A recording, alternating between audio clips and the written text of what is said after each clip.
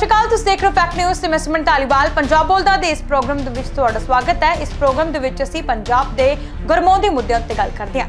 ਤੇ ਅੱਜ ਅਸੀਂ ਗੱਲ ਕਰਾਂਗੇ ਕਿਸਾਨ ਜਥੇਬੰਦੀਆਂ ਬਾਰੇ। ਲਗਾਤਾਰ ਕਿਸਾਨ ਜਥੇਬੰਦੀਆਂ ਦੇ ਵਿੱਚ ਵੱਧ ਰਿਹਾ ਮਤਭੇਦ ਘਟਣ ਦਾ ਨਾਮ ਨਹੀਂ ਲੈ ਰਿਹਾ ਤੇ ਉੱਥੇ ਹੀ ਹੁਣ ਇਸ ਵਿਵਾਦ ਦੇ ਵਿੱਚ ਅਲੱਗ ਚਰਚਾਵਾਂ ਬਣਦੀਆਂ ਹੋਈਆਂ ਨਜ਼ਰ ਆ ਰਹੀਆਂ ਹਨ। ਜੀ ਹਾਂ, ਕਿਸਾਨੀ ਅੰਦੋਲਨ ਨੂੰ ਲੈ ਕੇ ਜਿੱਥੇ ਕਿ ਦੋਨੋਂ ਜਥੇਬੰਦੀਆਂ ਅਲੱਗ-ਅਲੱਗ ਆਮੋ ਸਾਹਮਣੇ ਹੋਈਆਂ ਨੇ, ਉੱਥੇ ਹੀ ਇਹਨਾਂ ਦੇ ਵਿੱਚ ਲਗਾਤਾਰ ਵਿਵਾਦ ਵੱਧਦਾ ਜਾ ਰਿਹਾ ਅੱਜ ਵੀ ਇੱਕ ਵੱਡਾ ਘਟਨਾਕ੍ਰਮ ਵਾਪਰਿਆ ਜਿੱਥੇ ਕਿ ਐਸਕੇਐਮ ਨੂੰ ਪੰਦੇਰ ਵੱਲੋਂ ਇੱਕ ਵੱਡਾ ਸਵਾਲ ਦਾ ਜਵਾਬ ਦਿੱਤਾ ਗਿਆ ਤੇ ਆਖਿਰਕਾਰ ਮਾਮਲਾ ਕੀ ਹੈ? ਇਸ ਸਮੇਂ ਕਿਸਾਨੀ ਅੰਦੋਲਨ ਦੇ ਹਾਲਾਤ ਕੀ ਨੇ? ਦੋਨੋਂ ਜਥੇਬੰਦੀਆਂ ਕਿਸ ਮਾਮਲੇ ਨੂੰ ਲੈ ਕੇ ਜੂਝ ਰਹੀਆਂ ਨੇ? ਇਸ ਬਾਰੇ ਵੀ ਤੁਹਾਨੂੰ ਦੱਸਾਂਗੇ ਤੇ ਨਾਲ ਹੀ ਇਹ ਵੀ ਜਾਣਕਾਰੀ ਦੱਸਾਂਗੇ ਕਿ ਆਉਣ ਵਾਲੇ ਸਮੇਂ ਦੇ ਵਿੱਚ ਹਾਲਾਤ ਕੀ ਹੋ ਸਕਦੇ ਨੇ। ਤਾਂ ਵੇਖਦੇ ਹਾਂ ਇੱਕ ਖਾਸ ਰਿਪੋਰਟ।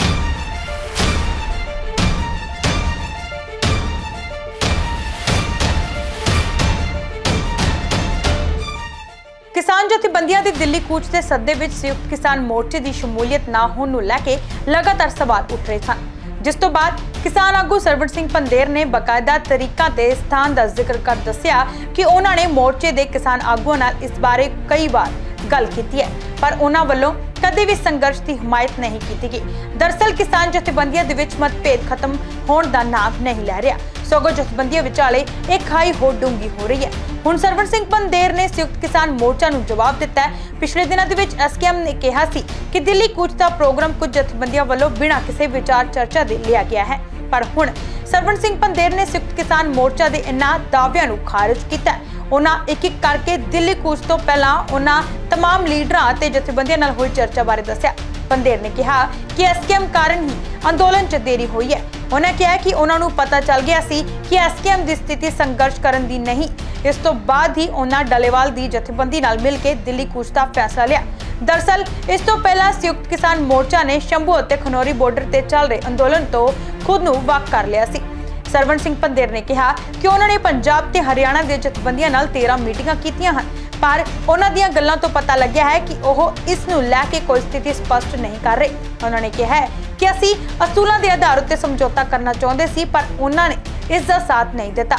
ਐਸਕੇਐਮ ਵੱਲੋਂ ਕਿਹਾ ਗਿਆ ਕਿ ਤੁਸੀਂ ਅਨਾੜੀਓ ਤੇ ਕਦੇ ਵੀ ਦੇਸ਼ ਵਿੱਚ 50 ਸਾਲ ਤੱਕ ਵੱਡਾ ਅੰਦੋਲਨ ਨਹੀਂ ਹੁੰਦਾ। ਰੁਲਦੂ ਸਿੰਘ ਮਾਨਸਾ ਨੇ ਕਿਹਾ ਸੀ ਕਿ 33 ਸਾਲ ਤੋਂ ਪਹਿਲਾਂ ਕੋਈ ਵੀ ਅੰਦੋਲਨ ਨਹੀਂ ਬਣਦਾ। ਐਸਕੇਐਮ ਦੀ ਸਥਿਤੀ ਸੀ ਕਿ ਦਿੱਲੀ ਦਾ ਅੰਦੋਲਨ ਇੰਨੀ ਛੇਤੀ ਨਹੀਂ ਬਣਨ ਵਾਲਾ।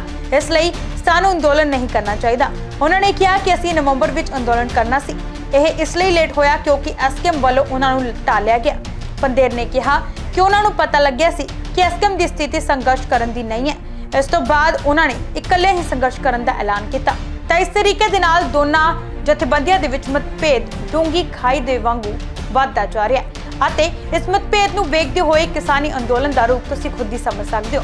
ਪਰ ਜਿਸ ਤਰੀਕੇ ਦੇ ਨਾਲ ਕਿਸਾਨਾਂ ਨੇ ਆਪਣੀਆਂ ਮੰਗਾਂ ਰੱਖੀਆਂ ਨੇ ਤਾਂ ਆਪਣੀਆਂ ਮੰਗਾਂ ਉੱਤੇ ਅੜੇ ਹੋਏ ਨੇ, ਇਹ ਗੱਲ ਤਾਂ ਪੱਕੀ ਹੈ ਕਿ ਸਰਕਾਰ ਤੋਂ, ਕੇਂਦਰ ਸਰਕਾਰ ਤੋਂ ਉਹ ਆਪਣੀਆਂ ਮੰਗਾਂ ਮੰਨਵਾ ਕੇ ਹਟਣਗੇ। ਪਰ ਦੋਨੋਂ ਜਿਹੜੀਆਂ ਜਥੇਬੰਦੀਆਂ ਨੇ, ਉਹ ਇੱਕ ਹੋ ਕੇ ਕੰਮ ਕਰਨਗੀਆਂ ਜਾਂ ਨਹੀਂ, ਇਹ ਤਾਂ ਆਉਣ ਵਾਲਾ ਸਮਾਂ ਦੱਸੇਗਾ।